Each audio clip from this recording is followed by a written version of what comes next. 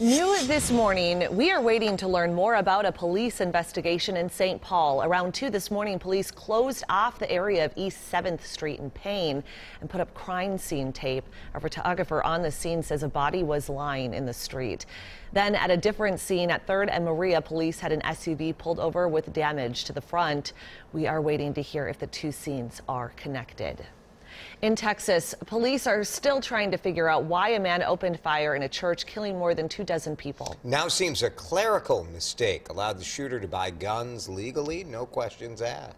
There was no prohibitive information uh, in the systems that we checked that say that he could not have purchased that firearm.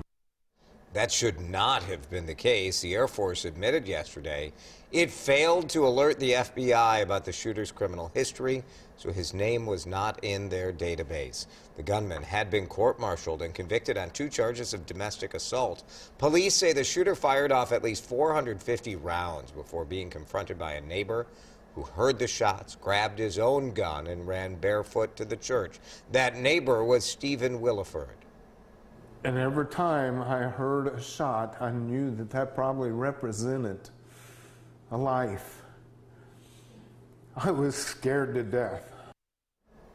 Police say Willeford shot the gunman twice, once in the leg, once in the torso. He then took off in a car. That gunman crashed and was found with a self-inflicted gunshot wound to his head.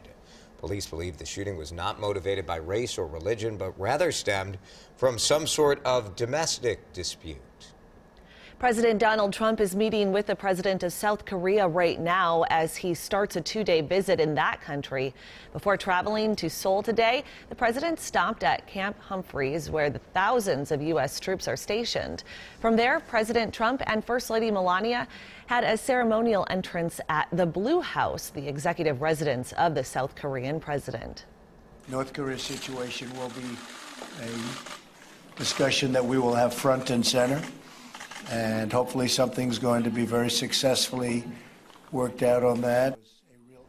While in Japan, the president refused to rule out a military strike in response to the North's nuclear tests and provocations. Trade is also a big topic that they are talking about today. It is election day, and the polls open at 7 o'clock this morning across the metro. Voters in both Minneapolis and St. Paul will vote for mayor. But the results might take a little bit of time to come in. Both cities use ranked choice voting. So you have to kind of count through once and then again. St. Paul counting ballots by hand. So they say it could be until Saturday night before we know the winner.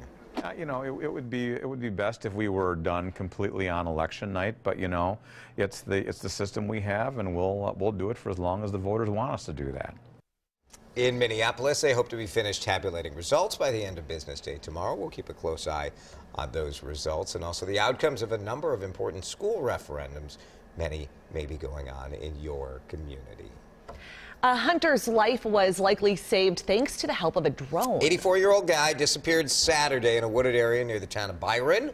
First responders started searching the area. You know, they like the normal way, go looking for the guy, but they didn't have much luck until Rochester police used a new type of technology. John Lauritsen shows us how they found that missing hunter.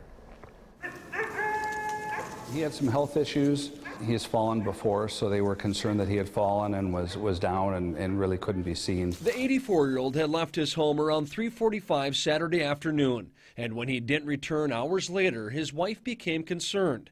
His truck was found stuck in the mud, and it became clear he had wandered off looking for help. By the time the search began, it was dark out, and weather conditions added to an already difficult situation. It kept the State Patrol from flying their search helicopter. We were concerned that within a couple hours it was going to turn from a rescue into a recovery. So you had all this area here to search. So Dave Thompson and Ray Caban decided to use some technology of their own. Nine months ago, Rochester police got a drone with infrared capabilities. Unlike helicopters, it can fly in low visibility. Basically picks up any heat deviations, for any degrees that's different from whatever else is around it. After searching for about an hour and after several false alarms, Officer Caban got a hit. And then you can see someone laying on the ground with another two responders. He actually was, you know, down on the ground, kind of in the wet, swampy area, so he was partially submerged. The hunter had become stuck in a foot of mud and was semi-conscious when first responders got to him. He was rushed to the hospital. and is expected to make a full recovery. Stoked, yeah. We were, we were totally thrilled that the, the way it ended up. John Lauritsen, WCCO 4 News. Police believe without that drone, they probably wouldn't have found the guy on Saturday night. They say right after they got that drone initially, it helped them solve an arson case. They were able to track down suspects that were hiding. So just another tool to use up in the sky. But great that they found this man uh, Yeah. who, uh, you know, rough, know. rough hunt. Sad. I mean, you just think about how, how remarkable drones have been. Just recently, we've heard of them finding children in cornfields. Yep, sure. So we are very lucky to have this technology,